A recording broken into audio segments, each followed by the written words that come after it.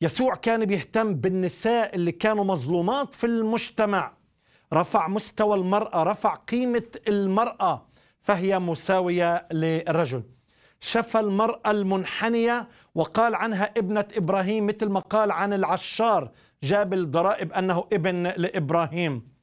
آه، فعلا حقق كل حقوق الإنسان حقوق الأطفال حقوق المرأة. آه، السامر الصالح اللي تكلم عنه اللي صنع آه، تكلم عن المشكلة الطمع والغنى وكيف إنه لازم يهتموا بالفقراء والمساكين. وفعلا الدينون اللي راح يوقف أمامها الناس كنت جائعا ولم تطعموني. كنت عطشانا ولم تسقوني. كنت غريبا ولم تؤاوني. كنت سجينا ولم تزوروني. كنت كنت متى رأيناك وفعلنا كل هذه الأمور؟ الحق أقول لكم إن فعلتم بأحد إخوتي هؤلاء الأصاغر فبي فعلتم. تتذكر لما شاول الطرسوسي كان بيضطهد الكنيسة؟ قال له لماذا تضطهدني؟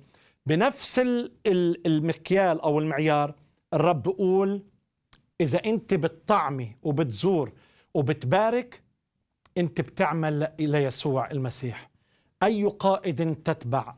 بصلي من كل قلب أنك تتبع مثال الكمال وكمال المثال ومثال الجمال وجمال المثال وكمال الكمال هو الرب يسوع المسيح. له كل المجد.